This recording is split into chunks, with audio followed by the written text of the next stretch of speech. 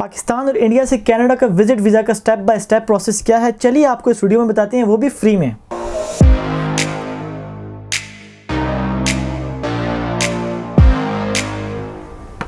असलम जी, आप देख रहे हैं मेरा YouTube channel Asim Sarwar production video शुरू होने से पहले मैं आपको अपने बारे में थोड़ा सा बताता हूँ। मेरा नाम है आसिम, मैं हूँ कनाडा की सिटी वैनकूवर में और मैं पाकिस्तान की सिटी एप्टाबाद से बिलोंग करता हूँ, ठीक है?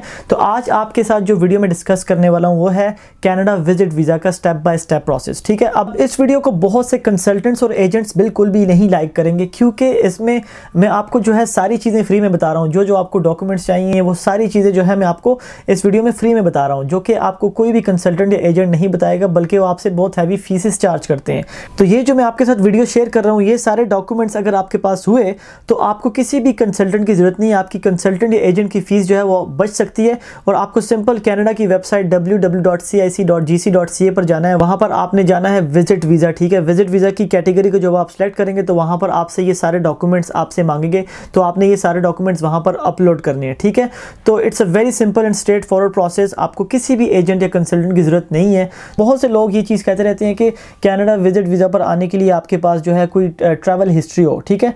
देखें, मैं इस बात से एग्री नहीं करता, ठीक है? बहुत से लोग फ़र्स्ट टाइम कनाडा आते हैं, ठीक है? अपना, उनका फ़र्स्ट टाइम का एक्सपीरियंस होता है तो ये कोई भी बड़ी बात नहीं होती। इमिग्रेशन ऑफिसर इस चीज़ को इतना ज़्यादा जो है उसको नोट नहीं करता कि उसका जो है कोई ट्रैवल हिस्ट्री नहीं है। अगर आपका आपका कोई क्रिमिनल रिकॉर्ड नहीं है और अगर आपकी फाइनेंशियल स्टेटमेंट अच्छी है, अगर आपकी प्रॉपर्टीज़ अच्छी हैं, अगर आप अपनी फैमिली टाइज शो करते हो तो डेफिनेटली जो है इमिग्रेशन ऑफिसर आपकी एप्लीकेशन को कंसिडर करेगा।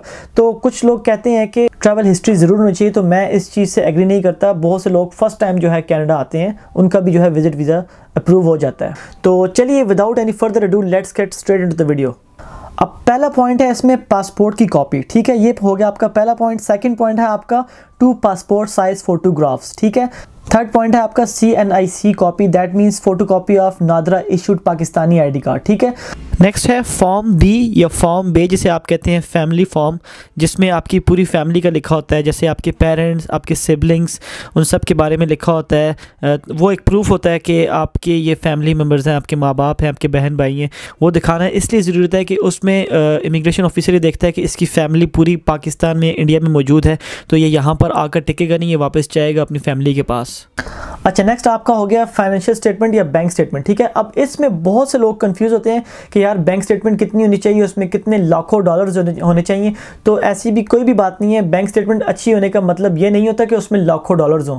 बैंक स्टेटमेंट अच्छी होने का ये मतलब है कि उसमें आपकी जो हिस्ट्री है, वो अच्छी हो। मतलब आपने उसमें पास्ट सिक्स मंथ की आपने अपनी बैंक स्टेटमेंट दिखानी है, जिसमें आपने अपनी एक अच्छी हिस्ट्री बनाई हुई हो। जैसे आपने उसमें बहुत सारी ट्रांजेक्शन की हो, जैसे उसमें आपने लेट सपोज़ एक वीक में पचास हज़ार रुपीज़ डाले और बीस हज़ार निकाले। ऐसे ही मतलब आपने जो है पैसे डाले, निकाले, इस तरह से आपकी जो है एक अच्छी हिस्ट्री बनी होनी चाहिए। तो इसको कहते हैं अच्छी bank statement it doesn't mean कि आपके उसमें बहुत सारे फंड्स हों, ठीक है?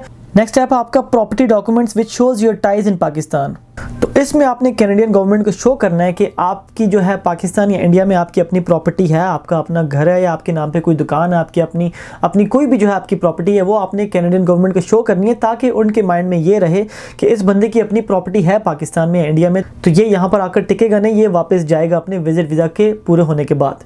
नेक्स्ट स्टेप है cover letter stating that the purpose of coming to Canada अच्छा ये सबसे इंपॉर्टेंट चीज़ है। कवर लेटर में आपने जो इमिग्रेशन ऑफिसर है, उसको आपने सेटिस्फाई करना है कि मैं कनाडा जो मेरा विज़िट वीज़ा होगा, मैं विज़िट वीज़ा पर आकर यहाँ पर मैं जस्ट यहाँ पर इंजॉय करूँगा, मैं यहाँ का वेदर देखूँगा, मैं यहाँ पर लोगों से मिलूँगा, या मैं जो है यहाँ पर कोई टिकूँगा नहीं, मैं यहाँ पर पक्का नहीं होने वाला, मैंने वापस जाना है।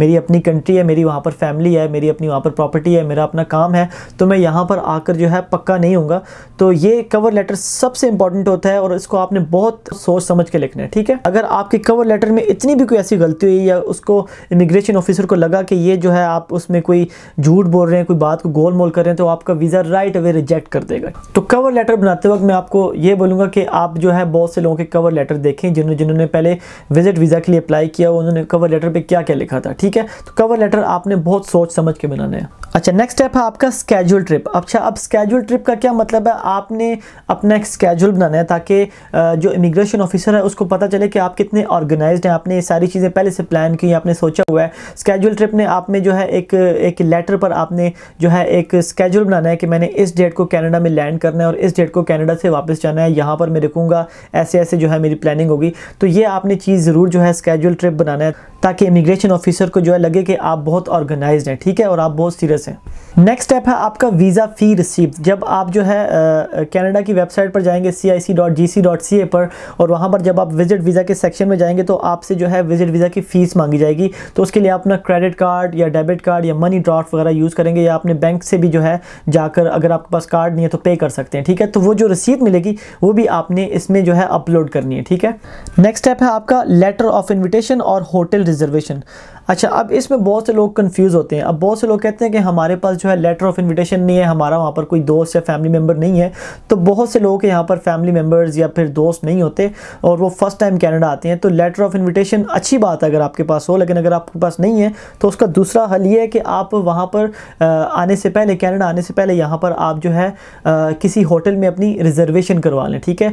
होटल की रिजर्वेशन जो है वो आपकी डेमो बुकिंग भी हो सकती है। आपको सारे पैसे देने की ज़रूरत नहीं है। आप थोड़े से आप पैसे दें और आपकी जो है, जिस होटल की एक रिजर्वेशन होगी, ताकि इमिग्रेशन ऑफिसर को लगे कि आप जब यहाँ पर आएँगे तो आपके पास रहने की जगह है यहाँ पर, ठीक है?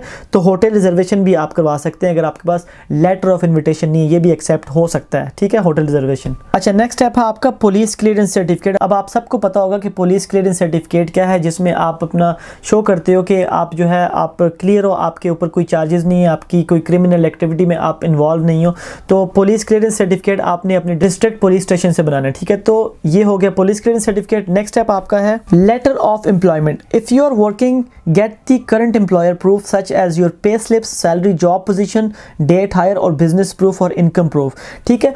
तो लेटर ऑफ़ एम्प्लॉयमेंट अगर आपके पास जॉब है, अगर आप कहीं जॉब करते हो तो आप अपना लेटर ऑफ़ एम्प्लॉयमेंट भी इसमें शो कर सकते हो। अगर आपके पास, आप जॉब नहीं करते और आपके पास कोई जॉब का एक्सपीरियंस नहीं है तो that's fine that doesn't matter लेकिन अगर आपके पास है तो अच्छी बात है अगर आप साथ में अपना लेटर ऑफ़ एम्प्लॉयमेंट लगा लेते हो, ताकि इमिग्रेशन ऑफिसर को लगे कि ये यहाँ पर बंदा जो है पाकिस्तान में, इंडिया में जॉब करता है। तो इसकी जॉब है तो ये वापस जाएगा अपनी जॉब को करने। पॉइंट नंबर थर्टीन है एप्लीकेशन फॉर्म ठीक है? जब आप जो है विज़िट वीज़ा के लिए अप्लाई करोगे तो एप्लीकेशन फॉर्म होगा, वो आप डाउनलोड करोगे और उसको आप फिल करोगे, ठीक है? तो ये हो गया एप्लीकेशन फॉर्म नेक्स्ट पॉइंट है आपका marriage certificate marriage certificate if you are married तो आपने अपना मैरिज सर्टिफिकेट भी साथ लगाना है और वो इंग्लिश में ट्रांसलेट होना चाहिए, ठीक है? अच्छा नेक्स्ट स्टेप है आपका प्लेन टिकट अच्छा अब इसमें बहुत से लोग कंफ्यूज होंगे कि प्लेन टिकट अगर हमने प्लेन के टिकट पहले ले लिए और अगर हमारा वीज़ा जो है कैंसिल हो गया तो हमारी जो प्लेन की, जो टिकट की कॉस्ट है, वो जो है वो पैसे ज़ाया हो जाएँगे. तो इसमें आपको प्लेन की जो एग्जैक्ट टिकट है, उनको परचेज़ करने की ज़रूरत नहीं है. आपने सिर्फ़ बुकिंग करवानी है और बुकिंग करवाने के कोई भी चार्जेस नहीं होते. और अगर हुए भी समटाइम्स आपके थोड़े बहुत आपसे चार्ज कर लेते हैं which is which is not a huge amount तो आपने जस्ट एक बुकिंग करवानी है और वो भी जो है आपकी एक्सेप्ट हो जाएगी, ठीक है? नेक्स्ट स्टेप है आपका biometric after you submit your application from the nearest visa application centre ठीक है?